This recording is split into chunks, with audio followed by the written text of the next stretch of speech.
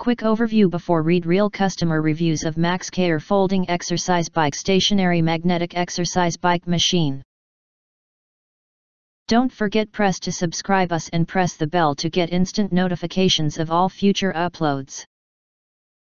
This magnetic exercise bike has 8 levels of magnetic resistance. You can select the required resistance by turning the knob according to the target at the time.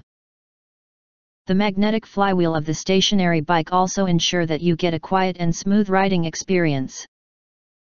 The characteristic of this exercise bike is the stationary bike is slim and exquisite, an exercise bike is very stable at the same time.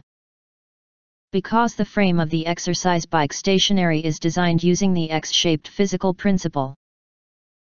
This exercise bike is not only stable but also fashionable.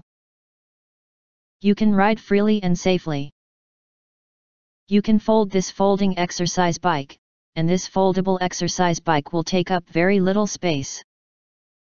The portable front wheel means you can easily move and store the stationary bike where you want to exercise. You can fold your exercise bike for home in your bedroom and then ride a stationary bike before bed to help you sleep or exercise in the living room while watching TV while exercising. The perfect indoor exercise bike. The design of the exercise bike is very user-friendly.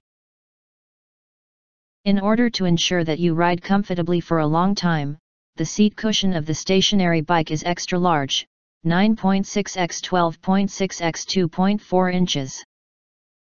In addition, the height of the seat for the exercise bike stationary is adjustable, so this exercise bike is suitable for people of different heights. Your relevant fitness data, including speed, distance, time, calories, and pulse, will be clearly displayed on the LCD monitor of exercise bike.